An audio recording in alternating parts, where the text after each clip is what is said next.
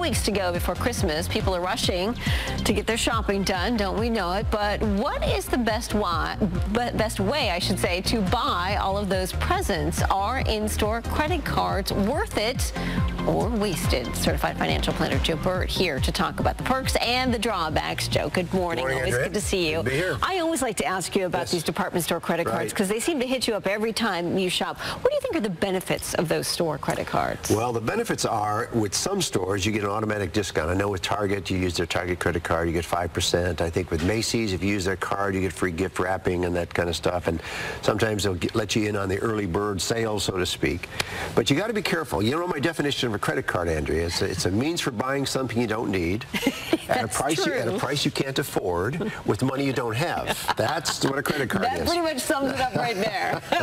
so you got to be careful. But but they can. But you want to be careful because before you know it, you start piling these things up, and then they affect your credit, your credit score, which isn't good because as we've said in the past, your credit score determines your your interest rates you're going to get on a home, uh, your automobile, sometimes your ability to get a job. So you don't want that credit score to get whacked up. Okay, drawbacks. I know you mentioned several yes. of them here. Any yeah. others we should be aware of? Well, if you're going to use that credit card, a lot of times they entice you to use it because you're going to get a discount for buying something. Sure. And as we said in the past, if you're buying a couple thousand dollars worth of stuff Big and they're going to give, items. yeah, if they're going to give you a couple, 20% uh, off, that's $400 yeah. Uh, on a 20 uh, on a $2,000 purchase. So that's not bad. But you, what you want to be careful is you get that card and then you start making those payments. If you miss a payment or you're late, boom, that interest rate is going to jump up to 20, 22%.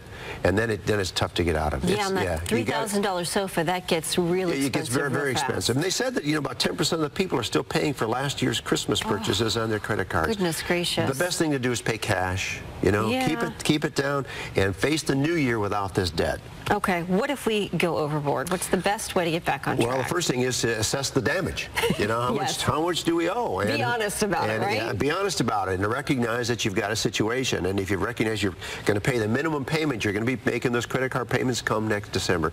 So what you want to do is look at how do I get more money? Maybe a part-time job. You know, it's not pleasant, but maybe get work for a little while, get that cleaned up, or as we said in the past, put some stuff on eBay or Craigslist or do something, right. you know, or, and then start looking at those credit cards and start paying down. The, the, financially, the best thing to do is to pay down the high interest rate ones first.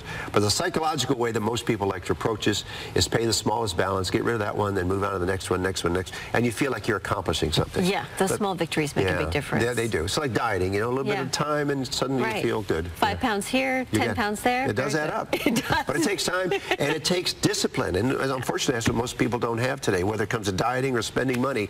And that's why most of us are fat and in debt. In debt. There we go. Joe Wilson, where can people find you? Just Google me, Andrea, two words, Joe Bert, B-E-R-T. All right, Joe. Thank you. Thank you.